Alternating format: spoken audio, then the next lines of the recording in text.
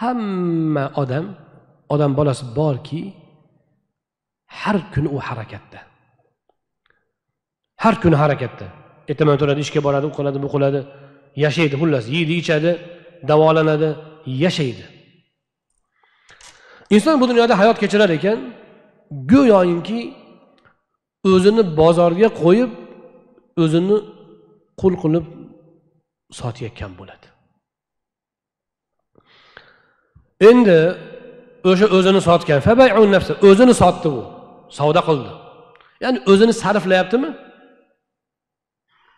Umrini sarflaydi pulini sarflaydi quvvatini sarflaydi. Bu nima degani? O'zini nimalargadir sotyapti. Sarflayapti. Endi bu savdoda u yo o'zini mana shu sotgan o'zini sotgandan keyin o'zini yo ozod qiladi ya'ni u hayotdagi harakati bilan u go'yo o'zini qul qilib sotdi. Xizmatkor qildi. Nima dunyogami nimagadir o'zini quvvatini bag'ishlash bilan o'zini u o'sha narsalarga qul qildi. Endi yo uni ozod qilib oladi yoki o'sha qullikda uni halok qiladi. Ishlab ishlab halok bo'ladi. Hadis sharif vorid bo'lgan paytda jamiyatda quldorlik bor edi. Odamlar bu hadisni o'shaning uchun juda yaxshi anglashgan. Odamlar yashab turgan o'zlari qilib turgan muomala munosabatdan kelib chiqib rasuli akam alayhissalom inson hayotini tasvirlayaptilar. Inson go'yo mana sizlar ko'rasizlar qullar sotiladi keyin yo u o'zini ozod qilib oladi qullikdan yoki shu qullikda o'lib ketadi. Hm? Har bitta inson o'zi garchi u sizlar ko'rayotgandaqa qul bo'lmasa ham deyaptilar. Lekin inson zoti borki u hur bo'lsa ham u babi shu qulni singari savdoda u. Endi mo'min o'zini ollohga sotadi. Jismingizni siz sarflayapsiz. Quvvatingizni sarflayapsiz umringizni sarflayapsiz. Olloh yo'liga sarflasangiz endi siz uni nafsingizni ozod qilgan bo'lasiz. O'zingizni ozod qilgan bo'lasiz. Agar shayton yo'liga yo'liga siz o'zi quvvatingizni sarflasangiz endi bu savdoda siz o'zingizni halok qilasiz. Qarang.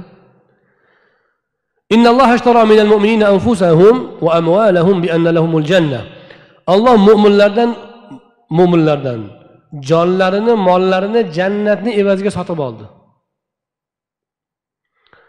Mo'min molu jonini ollohga sotadi. Evaziga jannatni oladi.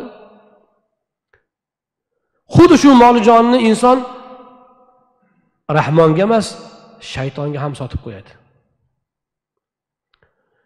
Shaytondan nima javob bo'ladi? Aytingchi o'zingiz. Jannat beradimi shayton? Halok qiladi. Agar inson hayotda mana shu hadisni shu joyini agar inson agar yaxshi his qilsa bo'ldi. Shundoq qolipga tushadi qoladi. Faraz qiling siz o'zingizni ertalab turib umringizni sarflayapsiz quvvatingizni sarflayapsiz gohida top pul topasiz topgan pulingizni sarflayapsiz. Shularni siz qaysi yo'lda ishlatyapsiz? Qani? Bir sal hisob qiling. Agar olloh yo'lida sarflayotgan bo'lsangiz yaxshi ishlarga sarflayotgan bo'lsangiz bashorat jannatni sotib olyapsiz.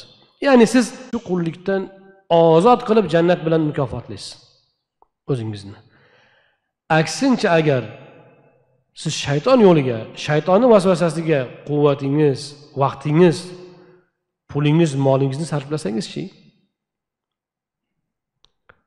ana mana shu zarar. Shuning uchun qur'on muhtaram azizlar aytyapmiz qur'oni karimni iboralari mo'jiza qur'onda mana eshitsanglar ko'p keladi. Muflihun xosirun ko'p keladi. Nima degani?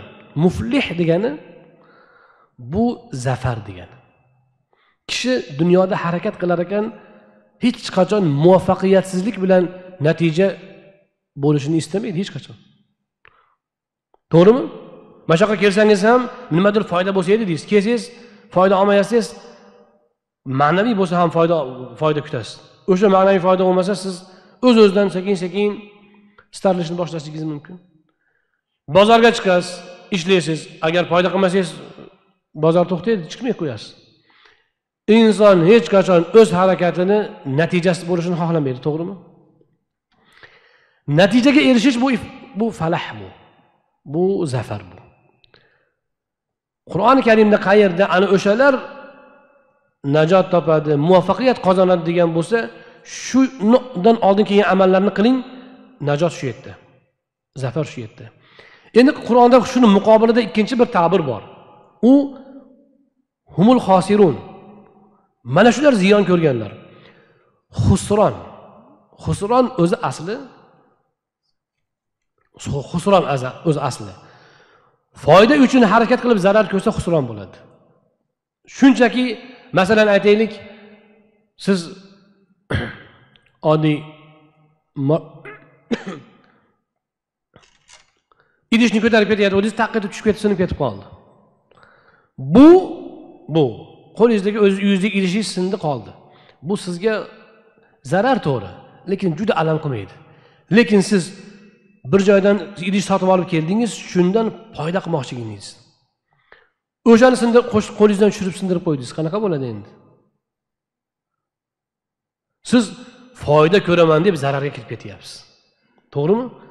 Bu achchig'i qattiq bo'ladi buni og'rig'i qattiq bo'ladi.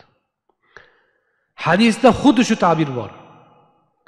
Inson dunyoda o'zini hayotini sarflab o'rniga jannatni emas quvvatini aqlini fikrini pulini sarflab o'rniga do'zaxni ollohni g'azabini sotib olsa u halok o'zini halok qilgan bo'ladi. O'zingizni halok qilgan bo'lasiz. Bu dunyoda inson o'tadi yaxshi amal qilgan ham o'ladi yomon amal qilgan ham o'ladi. Mo'min ham kofir ham baribir o'ladi. Hech biri dunyoga ustun bo'lmaydi. To'g'rimi? Mana shu jismingiz olloh yo'lida sarf bo'lsa u ozod bo'lib jannatga erishadi. Aksincha bo'lsa olloh asrasin u siz o'zingizni o'zingiz halokatga uloqtirgan bo'lasiz. Mubiha degani bu halok etishda ham haligi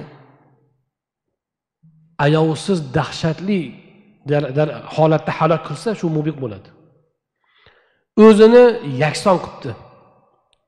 Kim dunyoda mana shu hayotda agar solih amal o'rniga yomon amal bilan hayot kechirsa o'ylamasin u birovga zarar qilyapman shunchaki gunohkor bo'lyapman deb o'zini halok qilayotgan bo'ladi. O'zini dunyo va oxiratini kuydirayotgan bo'ladi.